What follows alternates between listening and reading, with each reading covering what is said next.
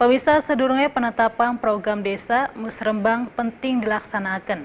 Kayaning Desa Mundu Pesisir Kabupaten Cirebon, pihak perusahaan lan lembaga sejene perlu kontribusi kanggo ngebangun desa.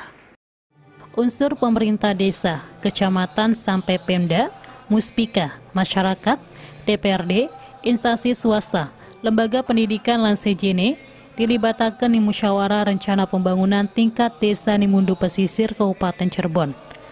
Hal itu dilakukan asalnya program pembangunan desa, beli cuma dari tugas Pemdes. Tapi aspirasi dan usulan masyarakat bisa disinergiakan, baring dibatakan perusahaan sing anan desa Kuwun. Lan diajak kanggo bisa kontribusi nyelarasakan rencana pembangunan di desa. Khususnya di desa Mundu Pesisir, ake usulan mengenai pembangunan infrastruktur, sarana kepemudaan, lan sejenis sing dadi diutamakan termasuk upaya normalisasi kali sing dari target lan diharapkan bisa dibantu ning pemerintah sing dinilai kerap meluap lan timbul banjir. Diharapkan lewat musyawarah kin bisa tersusun program pembangunan sing baik lan direalisasiakan kanggo kepentingan masyarakat. Husen Sadra, RCTV, Cirebon. Pihak sing Bapelit Bangda Kabupaten Cirebon melakukan peninjauan atau survei kondisi dalam rusak ning wilayah Ciwaringin. Hal itu lanjuti hasil musrenbang supaya aneh pembenahan dalan sing rusak bisa direalisasikan. Peninjauan kondisi dalam rusak ning wilayah Ciwaringin, Kabupaten Cirebon, ditinjau jajaran Bapelit Bangda.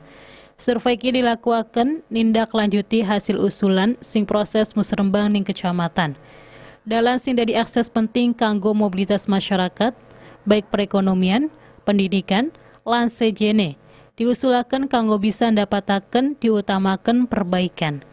Sampai sedurungai analisasi tahapan dilakukan, baring lakuakan survei. Sampai nanti aspirasi landa di harapan masyarakat kayak perbaikan infrastruktur dalan kin bisa ditindaklanjuti ning pemerintah kanggo direalisasi nang sampai bisa nunjang kenyamanan dan keamanan masyarakat pengguna jalan. Sejene infrastruktur jalan diharapkan program sejene kanggo kepentingan masyarakat bisa diutamakan ning pemerintah. Husen Sadra, RCTV, Cirebon.